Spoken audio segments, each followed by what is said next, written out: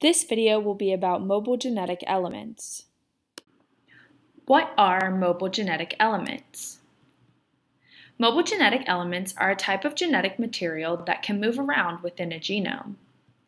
The two types that will be talked about in this video are transposons and retrotransposons. Transposons are a mobile genetic element that can be moved around the genome two ways. We have replicative transposition, which is also known as the copy and paste method, where the original segment of DNA is duplicated and the duplication is then inserted into the genome. With this method, the original segment of DNA remains where it was.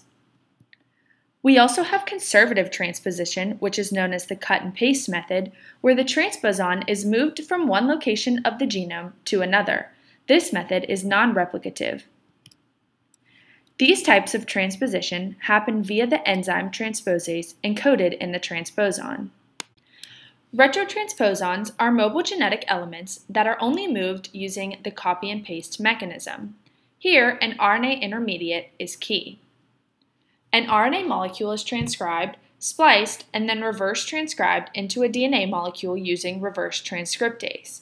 The DNA molecule is then inserted into the genome. With retrotransposons, transposition happens via retrotransposase encoded in the transposon. I hope you found this video really helpful.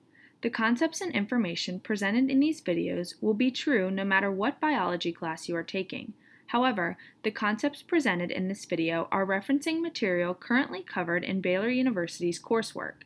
Remember, if you are a currently enrolled Baylor student, we offer free tutoring services. Our tutoring center is located on the first floor of the Sid Richardson building. You will find all the details you need about these services on our website www.baylor.edu/tutoring. You may schedule a free 30-minute one-on-one tutoring session online or just drop in during any of our open business hours. For more information about our current services, please visit our website. Thank you.